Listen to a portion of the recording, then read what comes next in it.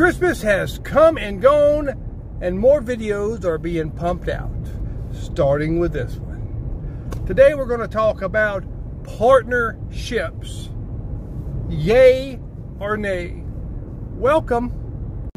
Not everyone is bad, and not everyone wants to take advantage of you. But the problem is, most people are bad, and most people wants to take advantage of you especially in the car business. And I'm going to tell you why.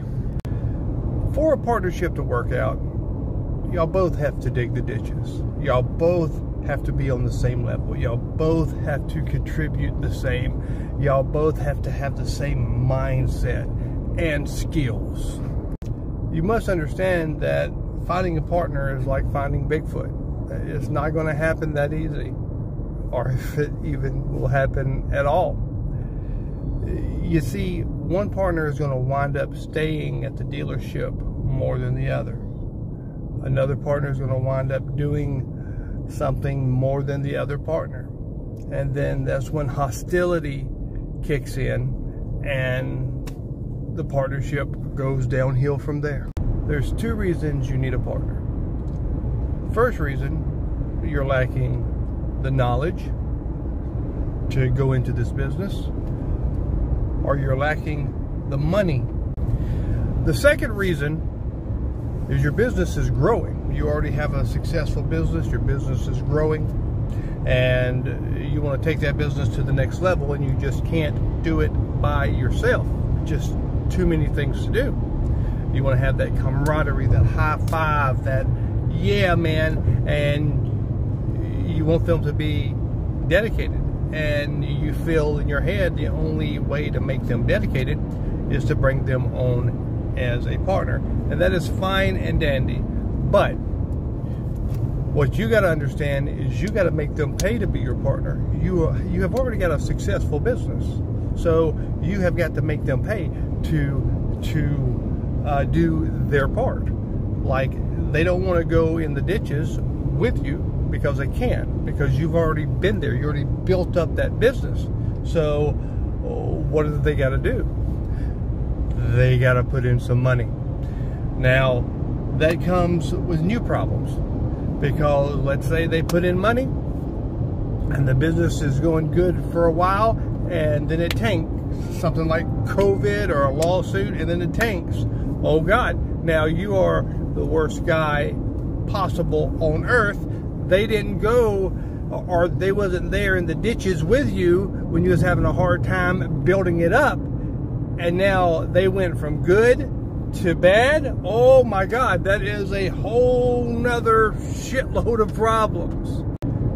Now a good businessman a good partner would understand what happens.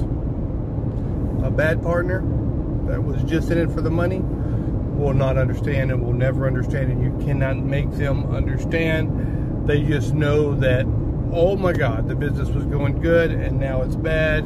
You lied to me. You're this and that. To avoid all that, just don't get a damn partner. And the jealousy, folks.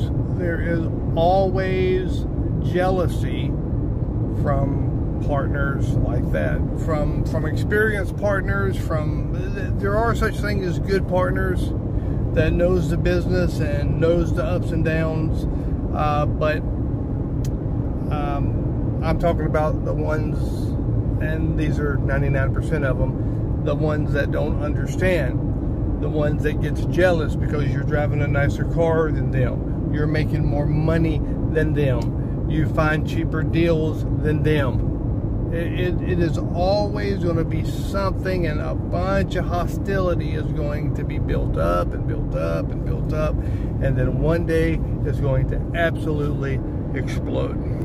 I don't just talk about this stuff and pull it out of my ass. I've been through this. I've been through it several times and trust me, I know exactly what I'm talking about. So I'm going to let you in on a story that pertains to what we're talking about today partnerships. And as everyone knows that uh, I helped Mike Feinberg start up the Fighting Lobster. I made that so successful. Within two months, he was banking $30,000 profit per month. And then he died of COVID 19 at 34 years old. So they kind of broke me when Mike died, and in several different ways. And I, I, went to New York City, I went to Las Vegas, I went back to Florida, and while I was traveling, uh, this guy was wanting to meet me at the places that I was traveling to and talk about business. And I'm like, okay, I, I didn't meet him in New York, I didn't meet him in in, in Vegas, but uh, when I got back down to Florida, uh, he came down and I agreed to meet with this guy. So my only friend that I had just died. And this guy comes in and he says all the right things and uh, he explains to me that he just got out of uh, a partnership or someone just screwed him over and and he made me feel like, oh, okay, this, uh, this guy's the same as me, and this and that. And he uh, said he wanted to open a business, and then he wanted to live in the Philippines and run it from there, and this and that. And I'm like, okay, well, uh, let's let's see what he has to say. And then one thing led to another, and then he basically agreed to move down and start up a business together my word to me is very important.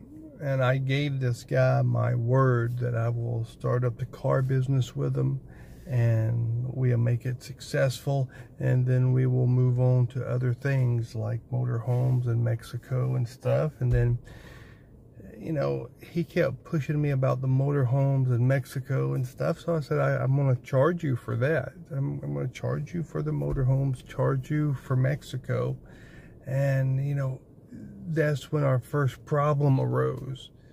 Uh, he didn't want to pay for nothing. He just thought I should give him everything. And then the wheels kept turning in my head, and I found out that he wanted to use me. I was stupid. I was desperate. And I wanted to make stuff work, and I was looking past very, very important things and I just kept on moving forward. And then we got phones for the business. We got a car for the business. It just kept moving forward. And, and in my mind, I knew that it was no good. We were days away from opening. And I gave my word. And someone set me down. It says, Rick, you're screwing up again. You're screwing up again. Listen to what this guy says. Red flag. He wants to open up a car dealership and live in the Philippines. Red flag. He cannot think for himself. He has no experience whatsoever in the used car business. He's in love with this girl in the Philippines that got kicked off a site for doing scams on Western men. And she did the same scam to him, but he's still with her. What the hell? Plus, a lot of other red flags just kept popping up and popping up, and I basically came to my senses. And so I set up a meeting, and in that meeting, I told him that at, in this new car lot, he's going to do his thing, and I'm going to do my thing. And he's going to buy his own cars, I'm going to buy my own cars, and we just use the lot and just both run out of that license. And he didn't like that at all. And everything was confirmed then that all he wanted to do was use me. And I wasn't going to let that happen. So, folks, if you do decide to get a partner, read between the lines and understand other people because there's a lot of people that they're consumers and they try their damnedest to be a producer, but eventually the consumer just pours out of them because you really can't pretend to be a producer. So let me leave you with my final thoughts.